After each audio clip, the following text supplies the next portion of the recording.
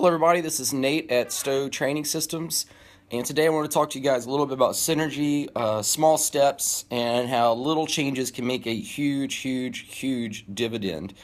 Uh, so real quickly, let's talk about synergy, okay? Uh, I want to imagine you, to imagine for a second that you had 10 multiplied 10 times. 10 times 10 times 10 times 10. I'm not going to say it that many times, but basically you'd come up with like 10, uh, let's see, 10 like billion. So anyway, I uh, actually picture for you. So here we go. 10 times 10 times 10 times 10 gives you that number right there, okay? Now, imagine that you made a 20% uh, micro improvement, so just 20% better. So now you have 12 times 12 times 12, just a little bit better, and it gives you a much bigger number, six times, uh, six times the return on your effort, 20% more. Uh, the same thoughts can go into getting into shape. What might seem like really small changes, which could be, uh, we talked about our holiday tips, uh, drinking water every day, eating protein with your meals, going to the gym three times a week. A small improvement on going to the gym three times a week might be writing down what you're doing at the gym when you go, or might be getting a little better technique on that exercise, or it might be uh, having a little extra vegetables during the week but there could be all these seemingly very small changes um, here and there. They don't seem like a lot, but when you put it all together, you have synergy, and now you're getting into shape. Now you're making changes.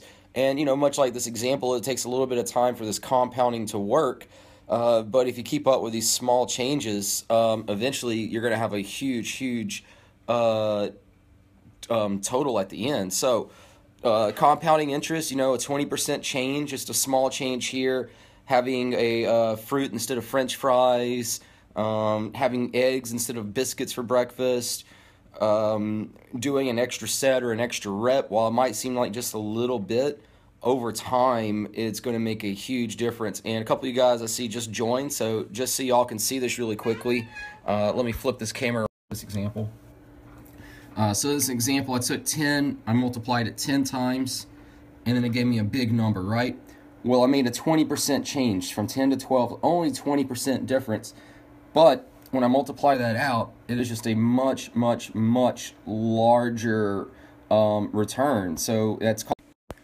So again, what might seem like a small thing, you know, going to the gym three times a week instead of two, or doing an extra rep, or uh, eating a little extra gram, a couple extra grams of protein every day. Uh, small changes, but they do end up with huge payoffs in the end. Uh, it doesn't look like anybody has any questions, so I'm going to let you guys go and do my 20%, get my workout in here. Take care, y'all.